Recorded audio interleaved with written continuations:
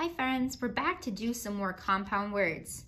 If you don't remember what a compound word is, it's when you put two words together to make one thing.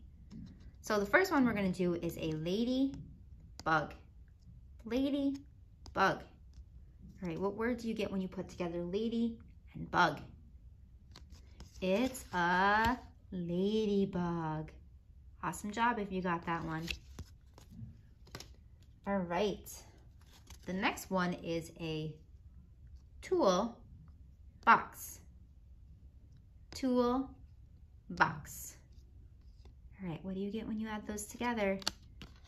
You get a toolbox. Awesome job. All right, let's see if we can get the next one. Sand, paper. Sand, paper. Sand, paper. It's sandpaper. All right, the next one looks pretty fun. So we have sheep, dog. Sheep, dog. All right, what do we get when we put together sheep and dog?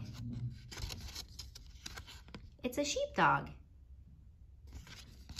All right, the next one. Ooh, this one looks tricky. I think you guys can do it though. All right, so we have eye glasses. Eye glasses.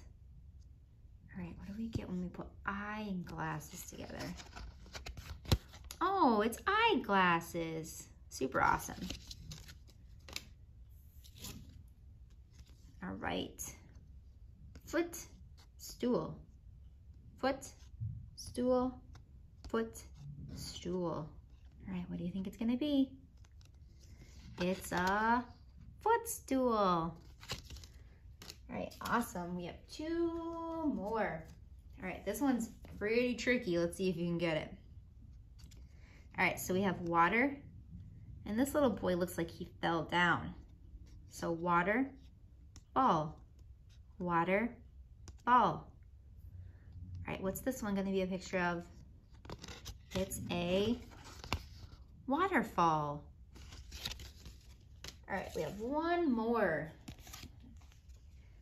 All right, so we have the moon, light, moon, light, moon, light. All right, if you put those together, you get moonlight. All right, friends, thanks for doing compound words with us today. Bye.